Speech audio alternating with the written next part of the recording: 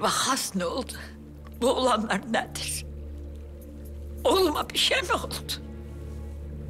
Ne olur söyleyin. Saklamayın benden. Yok bir şey yenge. Bak şimdi sırf senin için cep telefonundan arayacağım.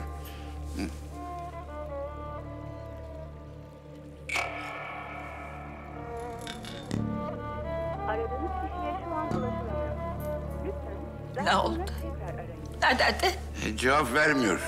Ulaşılamıyor diyor. Ben bildim. Oğluma bir şey oldu. Vakas.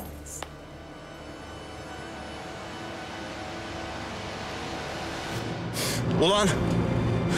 Dua edin çocuğa bir şey olmasın. Ya ben bir şey yapmadım. Konuşma lan. Polis katili mi olacak? Hele bir gidelim. Orada bol bol konuşacağız seninle. Hadi Berat.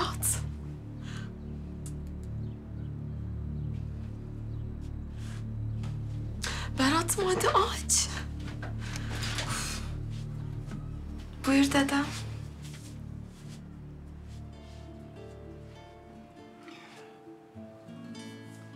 Zeliha, kızım. Kızım, yuvan dirlik görsün, sofran bolluk dolsun. Mesut ol yavrum. Sağ ol dedem. Senin hakkın nasıl ödenir ki? Ne hakkı kızım? Bizim fakirlikten başka ne hakkımız var ki üstünüzde? Öyle deme dedem. Zeliha, Kadriye Hanım şimdi ölmüştür meraktan. Eğer numarasını biliyorsan çevir de onu bir haber edeyim. Hemen. Heh, münasip bir zamanda gelsin bize. Hadi çevir.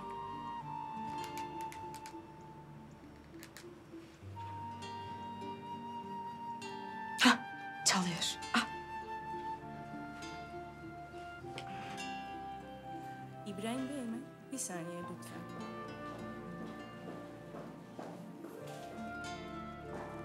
Beyefendi Kadriye Hanım'ın telefonu var. Kimmiş?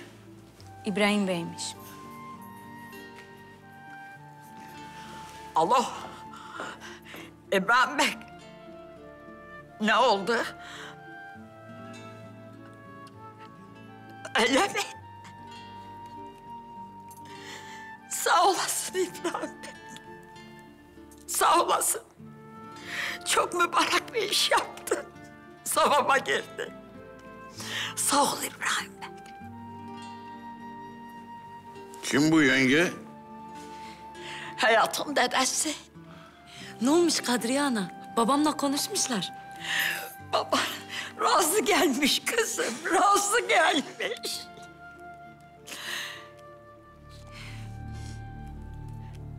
Lakin Berat yok ortada.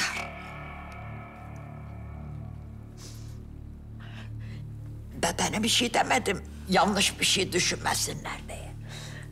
Bak Allah rızası için bana oğlumu bul.